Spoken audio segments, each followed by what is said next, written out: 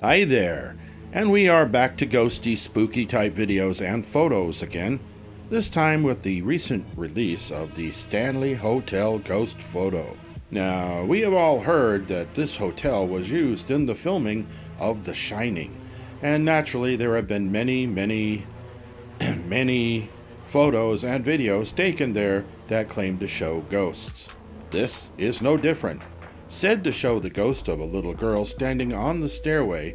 It was taken at the Stanley during a ghost tour that they uh, have there on certain evenings. A handful of people in the tour group were all from one family, and one of them took this shot. After seeing the photo and questioning the others, none of them remember seeing a small girl there at the time. And that's too bad because she's obviously there and they could easily be mistaken in their memory about something as mundane as a girl walking up the stairs from the lobby. Hell, I, I can't remember where I put my car keys half the time. Our memories are faulty to a fault. This shows the first floor landing just up from the lobby. The lobby is a rather busy area, even at night.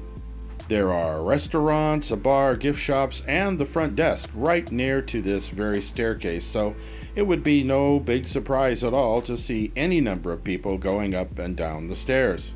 Some also say that she wasn't the only ghost in the photo. Here is another one, all hazy and transparent like, wearing glasses and sneakers, sitting on the stairs, using his iPhone. Since this isn't a flash photo, I suppose it just couldn't be that this is blurring caused by a slow shutter speed on the camera, could it? And I suppose this little girl wasn't just walking up the stairs and was also blurred by the slow shutter speed. You know, there are ghosties everywhere in this hotel. I wonder if this shot at the front counter uh, represents the souls of the living uh, leaving their bodies instead of the effect from slow shutter. I wonder if this could be just some guy in dark clothing walking up the stairs, uh, or if this is yet another ghost on that same landing just standing there having her photo taken. Getting back to this most recent one, I looked at it through the processor and it didn't look like it had been photoshopped to me. Or if it had, then it was a damn good job since there wasn't any perceptible deviations between the subject and the rest of the scene although the, the girl may have been a slightly later shot by the same camera and then transposed into the group setting. That was just a guess, and even so, it's still a shutter speed anomaly.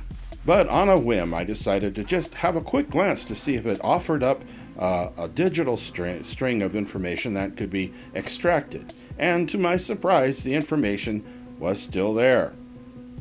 Hmm yeah. Thanks for watching.